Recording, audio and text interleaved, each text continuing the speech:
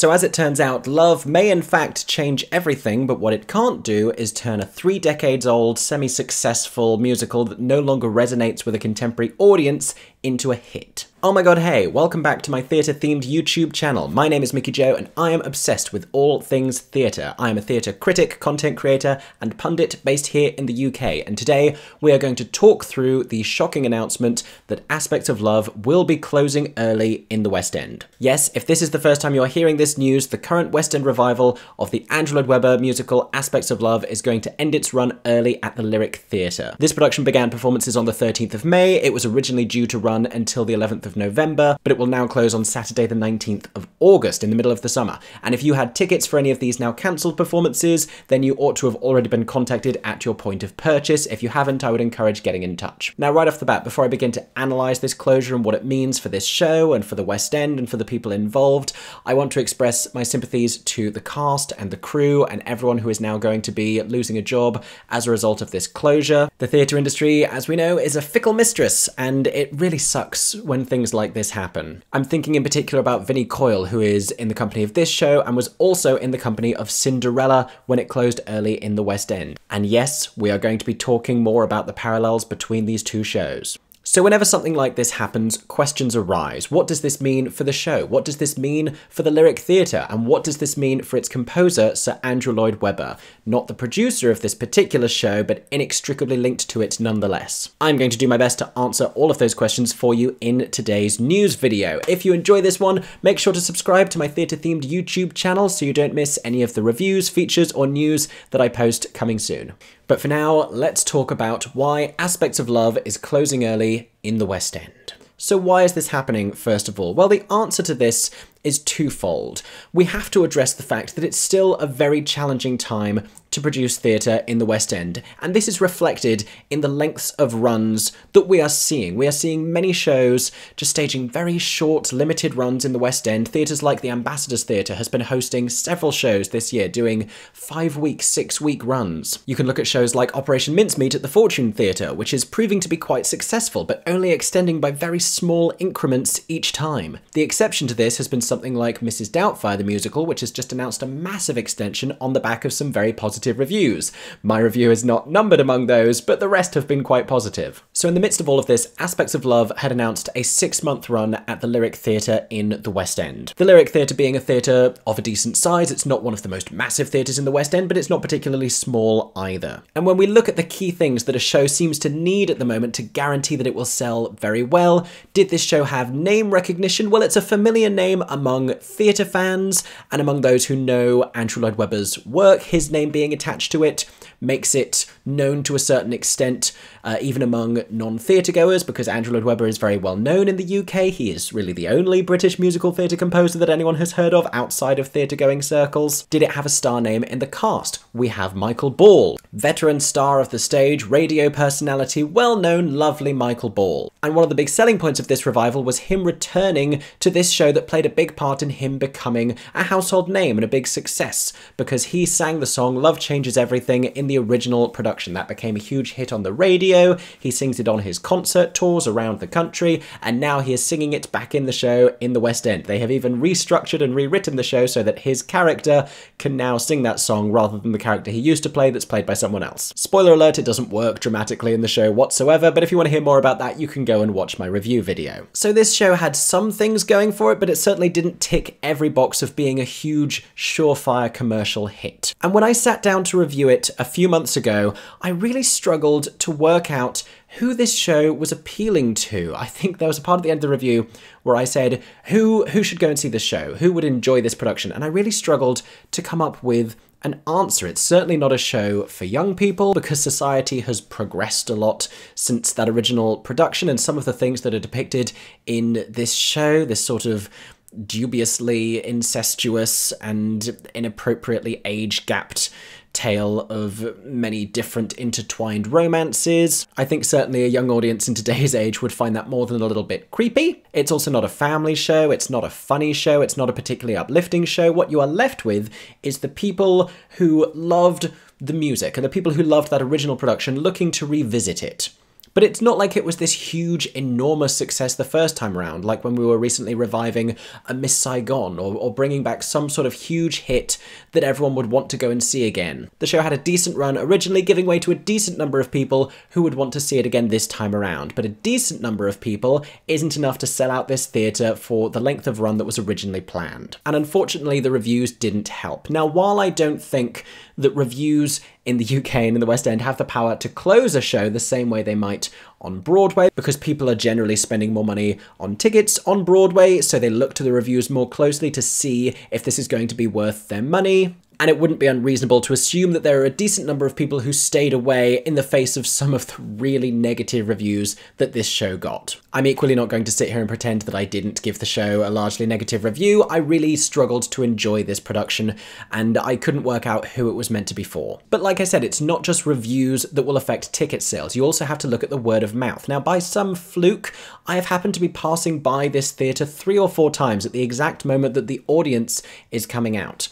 And what I've noticed every single time, people are not smiling, people are not chatting to each other, because the ending of this show is peculiar. It's not uplifting, it's not romantic, it's not rhapsodic, it's not particularly sad or inspiring. We've just come from a funeral where the dead guy's nephew has just hooked up with the dead guy's ex mistress, and then the dead guy's wife tries to convince the nephew that he should stay there and love her and not love her inappropriately young daughter, who's also his first cousin. And even if that wasn't a weird way for the plot to end, the way that the show actually ends with its material is so open ended and bizarre, no wonder people are leaving this theatre looking dumbfounded. Faced with that being your enduring final memory of the show, do you go and recommend it to a friend the next day? Or do you say, well, it was it was interesting, which is British for bad and strange and peculiar and not worth your time or money. Like I said, I don't know how this show is meant to affect people emotionally with those final moments, but it seemed to be leaving audience members indifferent, from what I could tell when looking at the faces of the people leaving the Lyric Theatre. Now let's talk about marketing, because a show can sink or swim based on its marketing. There have been a lot of great shows in the West End that haven't been able to really get off the ground because people haven't known how to market them. Something like A Come From Away had a decent run in the West End, but could have run longer if it weren't for the fact that it's so challenging to market that show. You have the blue and the yellow. The name itself has no kind of recognition with a UK audience. There's not a lot of songs in it that are easy to take and perform on like a TV show and an advertising spot. And just describing the show itself can present challenges because it's about this very American concept. And 9-11 is a big factor, but it's not strictly about 9-11. And you also don't want to necessarily lead with that in the marketing, especially in a post-COVID world where people wanted to see something uplifting. Now, Come From Away is super uplifting, but if you lead with 9-11, people aren't going to believe that. So talking about the marketing of aspects of love, you had this. You had the word love in big pink letters. They were selling love with these four different characters, one of whom was Michael Ball, which helps. Now, the problem is, this is not the only show in the West End selling love, and there are other shows that sell love better. You get a steamy, obsessive, passionate love if you go to Moulin Rouge. You get young love if you go to Grease. You get this sort of unspoken, intense love if you go to Oklahoma. This is not the only show that is offering audiences love. And they just had a really big marketing opportunity with West End Live. Now, I spoke about this already in my West End Live review, but they made a very peculiar choice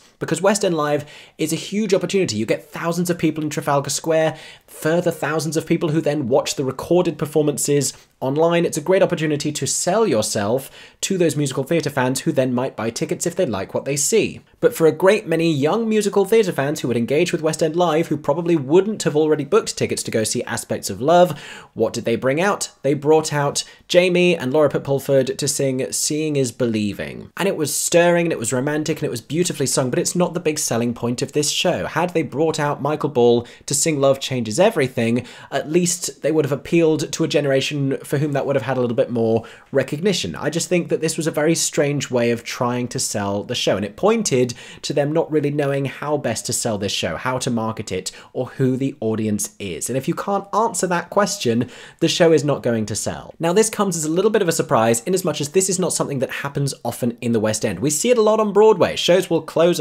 abruptly on Broadway, either after not getting Tony nominations or not winning Tonys or getting terrible reviews, and sometimes that closing will come around quite quickly because people don't want to waste any more money than they already have. Weekly running costs on Broadway are huge, and if you are losing money, then producers want to shut that down. But in the West End, you're much more likely to see a show sort of slowly bleed as it inches towards the finish line, largely because many of these runs at the moment are only small, limited runs anyway. And it is surprising because it's been a really long time since we have seen a musical closing early. Not since we've seen a show closing early, this has happened quite recently. Uh, the production of Bleak Expectations, currently playing at the Criterion Theatre, is also going to close its run early in August, which is a terrible shame because this is actually a lovely and charming production that I think a British audience would really love if people knew what it was. Again, I don't know if this has been a marketing issue with trying to communicate what this show is. A part of me wonders if both of these shows are playing in the West End simply at the wrong time. Both Aspects of Love and Bleak Expectations, which is a parody of multiple different Charles Dickens stories, feel more like winter shows. For Aspects of Love, if it ran through January, through February, through Valentine's Day, that's a marketing opportunity right there. Neither of them feel like shows that I would want to go and see or that anyone would want to go and see in the middle of the summer. They're certainly not fun summer hits and they're not going to be able to compete with the shows that are. I'm trying to think of the last time we saw a musical closing early, and it might be Cinderella when that announced it was going to close abruptly at the Gillian Lynne Theatre in the West End a few years ago. Now, we're going to talk more about the Andrew Lloyd Webber of it all later in the video, but I just wanted to draw that comparison. I will say it is a little bit harder to see these things coming because there's a lack of financial transparency in the West End. Unlike on Broadway, weekly grosses are not published in the West End, so we do not know how much money a show is making. But all you needed to do was look at how many tickets were still available for aspects of love for upcoming performances, the fact that the balcony was not even open for many of those, to see that this was not selling well. That is something I did at the beginning of this week, and to be completely honest with you, I have been waiting for this announcement to drop ever since. So what does this mean for Aspects of Love as a show beyond this particular production? Well, this is a show that has a dated plot. I have to imagine that even when this first was put on, it had a dated plot. Like, the things that are depicted in this show were not considered acceptable within society. Perhaps audiences just had a different attitude to seeing those kinds of things depicted on stage. But certainly, reviewers and many audience members and many people I know have turned their noses up at this production. We have this young girl character who falls in love with her cousin. Now, in the original production, there was meant to be a little bit of dubiousness about whether he might actually be her illegitimate father. And she was originally 15, and there was a song at the end that sang, It won't be long before Jenny's a woman. In this production, they've made her 18, so everything's fine now. And I also think because of the timeline, there's no feasible way in this production that he could be her father, but there are bigger issues that need fixing within this show. And if this careful rewrite of the show couldn't fix those issues, I don't know if anyone will ever be able to. So is this show going to be able to have any kind of a future life in the UK beyond this version? I don't know. It may get relegated to the world of standalone concert productions. Uh, maybe it can try and have another life again in the US. I don't know. I'm not sure what this means for aspects of love, but it's certainly nothing positive. It will be a while before it can shake the memory of this failed West End revival. What does this mean for the Lyric Theatre meanwhile? Well, the Lyric Theatre is where Hadestown is going to be opening next year. Aspects of Love was meant to be running up until November, and then over the Christmas period between Aspects and Hadestown, we were meant to be having a return of Peter Pan Goes Wrong. Currently playing on Broadway. I don't know if it was going to be the same cast from Broadway that were going to come and do it in the West End, aka many of the original members of Mischief Theatre. I suspect it probably wasn't going to be that same cast, or isn't going to be that same cast, I should say, because that production is still going to take place. But we now have a gap between the 19th of August, when Aspects is going to close, and the 11th of November November when it was meant to close, nearly two months. On Broadway, it would be more expensive to get a show in there for a two month run, and it wouldn't really have the chance to recoup its investment. So, for that reason, the theatre would probably just sit dark in the interim. But in the West End,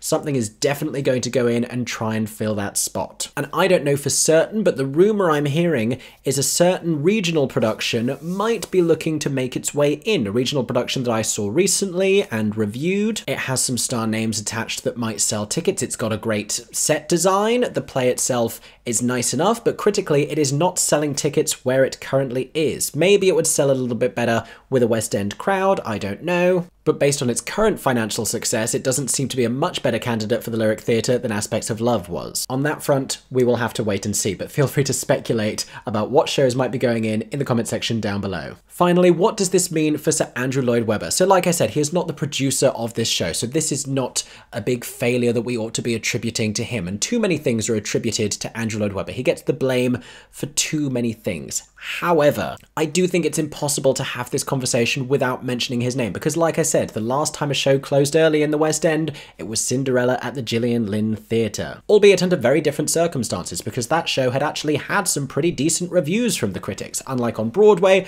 where it got massacred by the critics, ignored by the Tonys, and then abruptly shut shortly afterwards. But it is true that the mood around Andrew Lloyd Webber's show seems to have shifted slightly. This in a year where we are about to see a lot of Andrew Lloyd Webber and concerts. Wizard of Oz, his version of Wizard of Oz, is opening at the London Palladium just next week. Coming up later in the summer, we have Evita in concert, we have Love Never Dies in concert, we have a big revival of Sunset Boulevard starring Nicole Scherzinger opening later this year at the Savoy Theatre. It feels as though Aspects of Love was meant to be the start of this sort of rehabilitating PR campaign, but if this was meant to be the first step back up the ladder for Andrew Lloyd Webber in terms of regaining his once glistening West End reputation, it has not gone well. But for now, that is all we know about the closing of Aspects of Love in the West End. I hope you have enjoyed today's video. I hope it's answered some of the questions that you might have had about the early closure of this show. Feel free to speculate in the comments section and share your thoughts and your insights. If you did enjoy this video, make sure to subscribe to my theatre-themed YouTube channel for more news, reviews, and features about all things West End and Broadway coming very soon. I hope that everyone is staying safe and that you have a stagey day. For 10 more seconds, I'm Mickey Jo Theatre. Oh my god, hey, thanks for watching, have a stagey day. Subscribe!